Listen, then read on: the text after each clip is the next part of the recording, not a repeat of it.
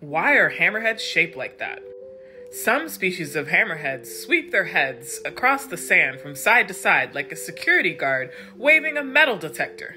Sharks can sense electrical signals through little pits in their noses called ampullae of Lorenzini. They can detect the electricity given off by living things.